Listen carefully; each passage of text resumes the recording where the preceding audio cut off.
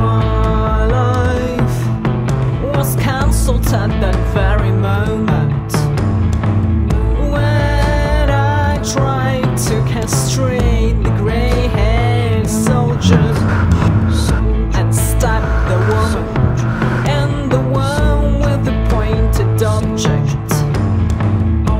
Stuck somewhere in tiny cracks between my future past and present.